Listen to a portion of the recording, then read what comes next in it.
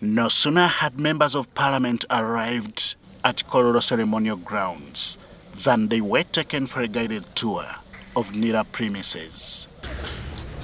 A lot was discovered, including the delayed processing of national identity cards. ne bayita muganda wange ne bayita bazadde bange academic documents zange zonna nga zirina amannya gange birth certificate buli Ama- ekifaananyi kyekyange ng'amannya sigange ng'amannya galiko asani kato ate nze isimayiri mutema The reasons for such anomalies were soon to be discovered as the guided tour went on. Old technology was one of them. From the statistics of UBOS, we have 29 million applications, but only 25 million, 25 million NINs. By the time MPs, who initially appeared charged, settled down for a meeting with NIRA officials, their attitude had changed, and this is why.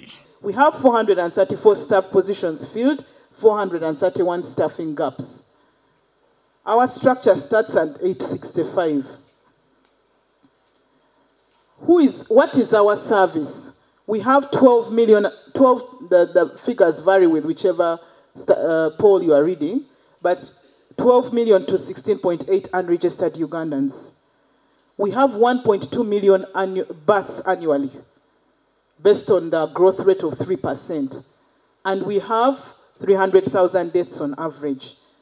Point Is it possible for these people to, to, do, to handle that?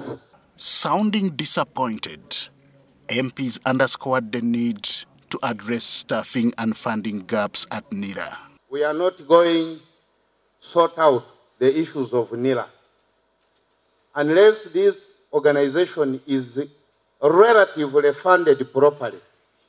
Then we go down to see whether that fund is utilized to sort out the issues. how information is trans- uh, transferred from the, the, the, the communities to the system is a challenge because at that time we're moving with flashes. People are moving on a motorcycle with very valuable information. because you are understaffed, you are underfunded, as committee of the parliament, we are ready to, to stand with you in that and solve that problem. But clean your name so that we can move on well. The committee chairperson, Rosemary Nyakikongoro, committed to addressing these challenges. But also the system is quite slow to produce the cards that are required by Ugandans. So all these things we need to look at, at them in, uh, as a committee to ensure that NIRA is supported financially and also to be able to work. Henry Okrut, UBC.